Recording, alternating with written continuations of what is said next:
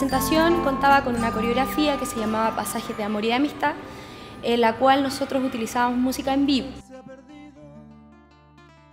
Que en el fondo ellos sientan que logran expresarse a través de la corporalidad o a través del área musical eh, de sus propias sensibilidades. Por lo tanto, eh, creo que el desarrollo de las distintas áreas nos nutren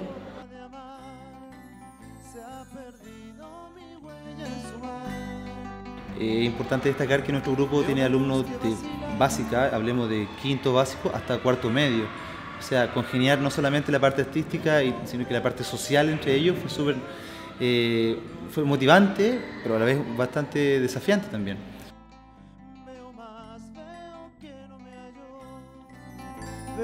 A la larga hicimos un grupo familiar, que esto aparte de ser músico bailarín es una familia que se forma aquí en esto y es una, una gran familia. Gracias por invitarnos, por haber participado en esta actividad y el reconocimiento a nuestra gente por haberlo hecho de muy buena forma, de forma muy transparente y profesional y comprometida.